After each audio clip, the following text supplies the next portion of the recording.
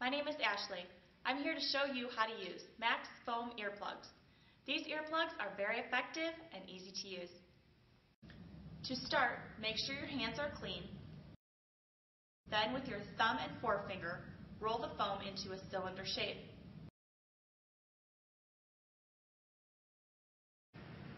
While holding the earplug in one hand, use your opposite hand to reach over your head to pull up and back on your outer ear to straighten the ear canal.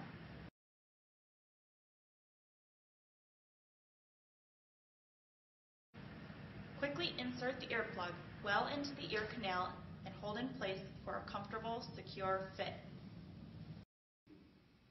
There you have it. Thanks for using Mack's Soft Foam earplugs, and thanks for watching.